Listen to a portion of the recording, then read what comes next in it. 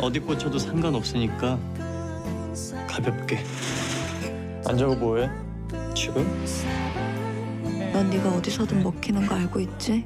그러니까 그런 표정, 그런 말투로 박재현 걔 연애할 마음 전혀 없어. 그냥 자기한테 꼬이는 여자가 재밌는 거 딱 그뿐이야. 너 나 그만 갖고 놀아. 난 너도 좋은 줄 알았지. 연애를 꼭 해야 되는 거야? 연애 안 할 거면 친하게 지내지도 못하나?